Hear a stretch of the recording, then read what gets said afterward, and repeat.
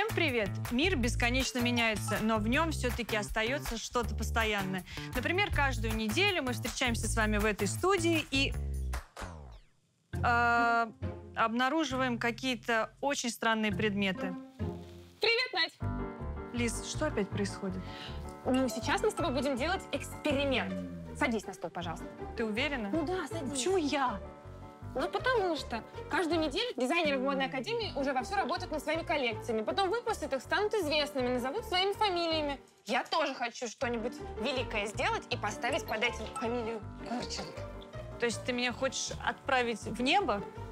Ну, типа того. Чтобы Сегодня никогда тобой- меня не видеть больше. Сегодня мы с тобой будем пытаться победить закон притяжения. М. Ну ладно. Надо просто расслабиться, я поняла. Готово. Сиди, не двигайся. Так, держи теперь вот так. Будешь размахивать и точно взлетишь. Держи. Лиз, вообще -то на этом режут э, фрукты, овощи. Я знаю, а еще это можно использовать как крылья. П- Помаши. Вот так, прям сильно. Нет, надо сильно, Надь. Ой, дети, никогда не повторяйте таких экспериментов. Так, еще сильнее. Ну, Быстрее. Давай, давай, давай, давай. И? Что-то? Ну, не очень. всегда все получается. Зато у меня всегда куча крутых идей. Да я не сомневаюсь. Вот, например, смотри. Я придумала пончик.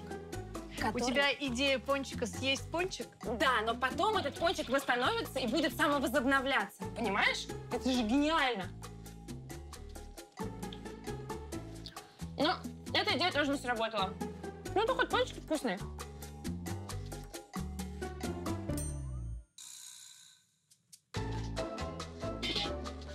Вот, а еще недавно я пыталась открыть портал в волшебный мир единорогов. У меня тоже ничего не получилось, но я не унываю. Да, конечно, Лиз, ты и уныние две противоположности.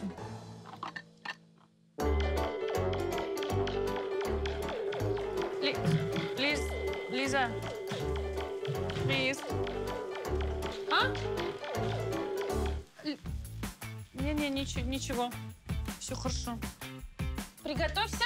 Давай. Что это? Подожди. Что это теперь? Ну все, взлетаем, порхай как бабочка. Нет, нет, стой, хватит, все, перестань. Ты можешь что-нибудь нормальное придумать? Там, я не знаю, какую-нибудь свою коллекцию шить или еще что-нибудь? Ну вообще, это прикольная идея. Ну там такая конкуренция. Да такая конкуренция. Наш курс называется Fashion Business. Наша основная задача — представить бренд, который создают ребята, и сделать бизнес-план. Для этого занятия мы подготовили а, базовую основу для нашего бренда. То есть мы расписали ту аудиторию, на которую мы будем ориентироваться. Мы изучили конкурентов и посмотрели, а, кто в нашем сегменте или в а, наших ключевых каких-то моментах работает сейчас на рынке в Москве и в России в принципе. ДНК бренда – благородство, стиль и открытость. Наша одежда помогает чувствовать себя успешной женщиной. Юмор, комфорт и реализм. В чем заключается юмор? В деталях.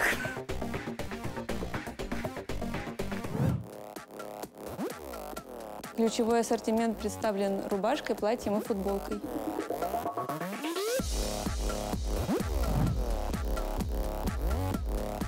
Мой портрет клиента — это девушка, ей 30 лет, параметры 176 и вес 56, брюнетка, цвет кожи светлый, она очень яркая, стильная, ухоженная, эффектная. развязать руки женщинам, чтобы они смогли носить наконец-то одежду, которую они хотят, а, не стесняться этого, сделать авангард стилем жизни. И это действительно очень большой стартап для меня. Здорово, что сейчас происходит. У меня были мысли о том, что я хочу производить, для кого я хочу производить, но именно такой систематизации творческого э, какого-то потенциала в бизнес-линию как-то у меня не было до этого. Это очень здорово, что вот мы этим занимаемся. Нам попался такой замечательный педагог, который все объясняет и доходчиво объясняет и а, помогает разобраться в этом всем.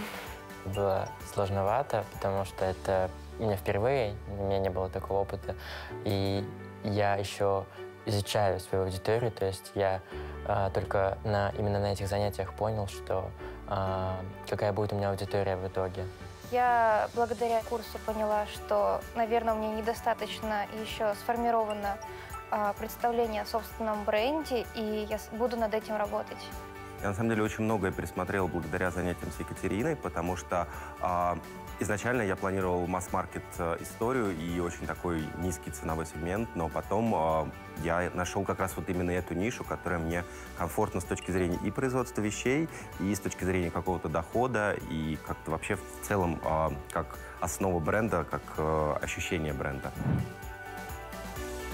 Я очень благодарна каналу Disney за эту возможность а, познакомиться с ребятами, которые участвуют в конкурсе, рассказать им о том, как, а, мне кажется, можно строить бренд в России на данный момент.